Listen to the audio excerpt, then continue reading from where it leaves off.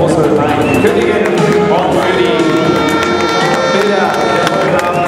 pictures. I think you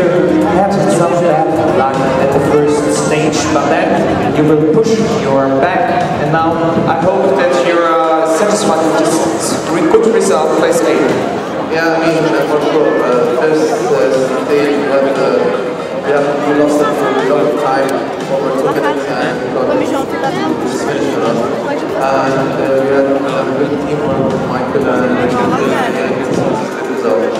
Okay.